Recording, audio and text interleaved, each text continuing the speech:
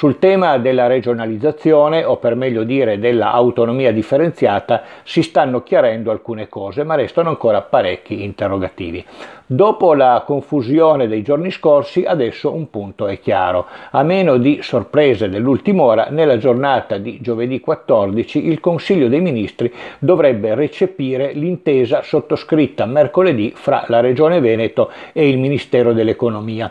Al momento attuale non si conoscono ancora i particolari relativi al settore istruzione, per il quale resta da definire il trattamento che verrà riservato al personale docente e ATA.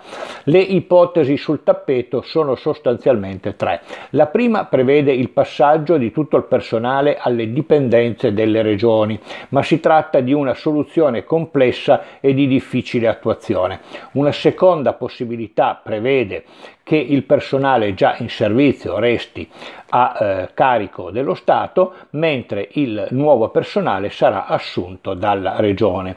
C'è però una terza soluzione. Il personale resta statale, ma con un contratto integrativo stipulato a livello regionale.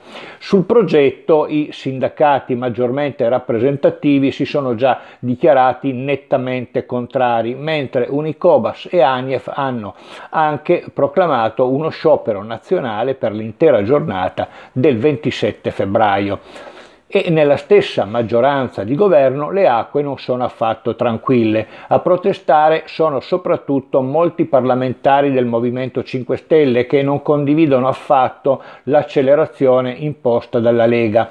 Le prossime ore saranno quindi decisive, ma non soltanto per il progetto di regionalizzazione, probabilmente anche per la stessa tenuta, per la stessa vita del governo.